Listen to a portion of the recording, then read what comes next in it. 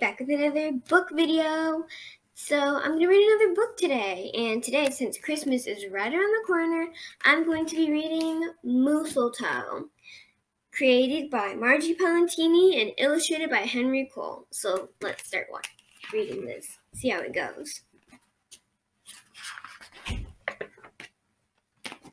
Twas the season, and Moose was very merry. He joyfully took up the ivories with a tuneful of tidings and a flurry of fa la las.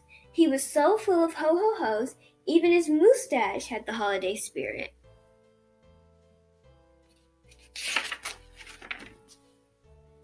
But Moose was more than just a bit merry and bright. He was also busy, busy, busy. There was a lot that had to be done on a list of to dos.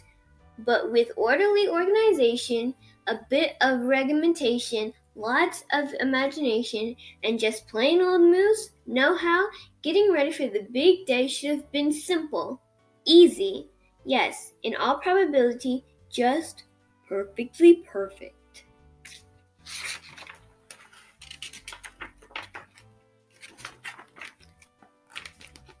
He wasted not one merry minute. Moose got to moving and put some hustle into his holiday bustle.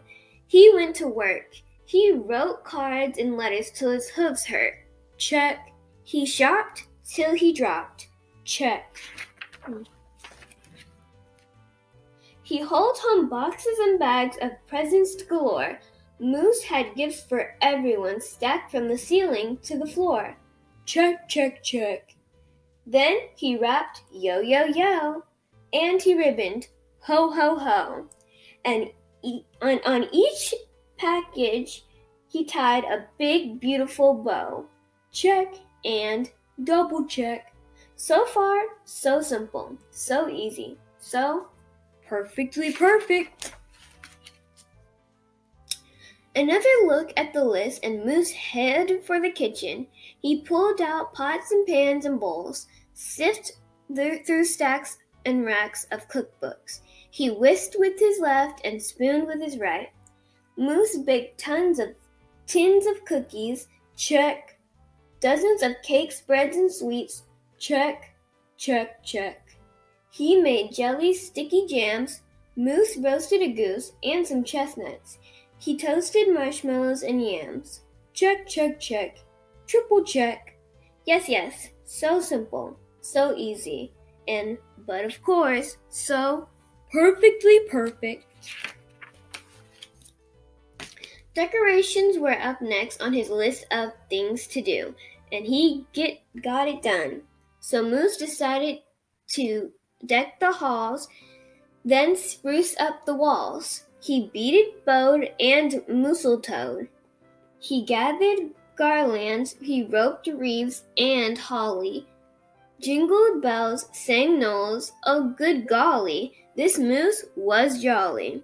Check, check, check, check, check, check, check. Wow, seems really excited about Christmas. Last but not least, he hung all the stockings, each and every one, with special care, and just in time, too. Soon, Santa would be there. Check and final check. Yes, sirree. Getting ready for Christmas was an absolute snap. And so simple, so easy. And if he did say so himself, Moose thought totally, utterly, perfectly perfect.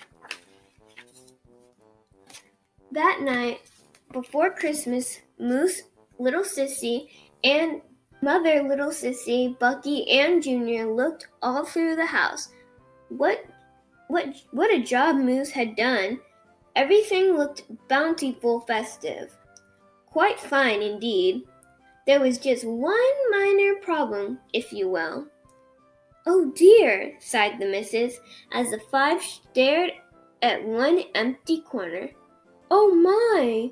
Oh me! Oh gee!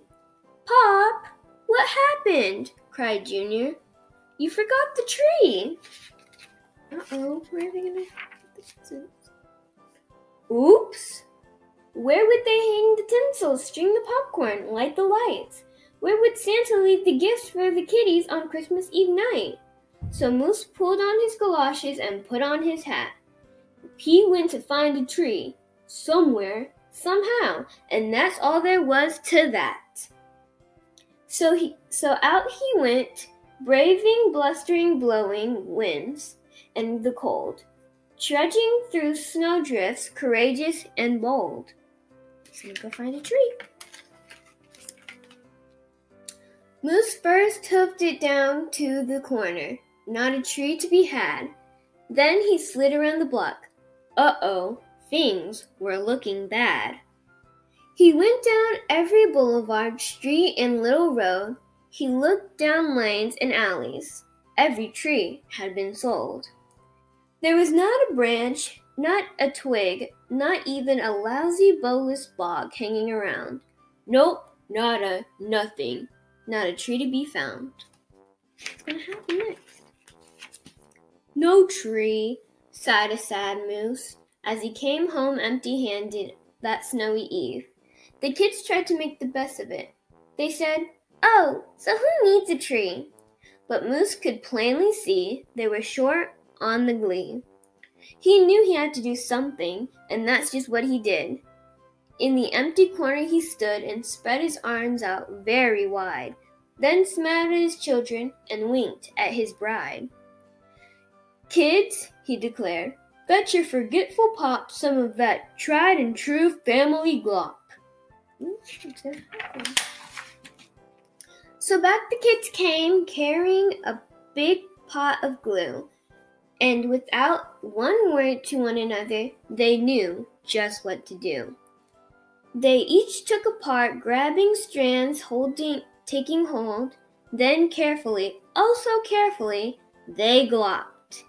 And they plopped. They pasted and they pressed.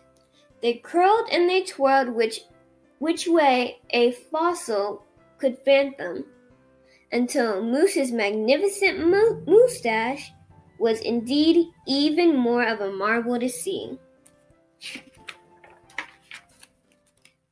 Moose was just a few nails shy of being an evergreen tree. They strung Moose with lights from his head to his toes.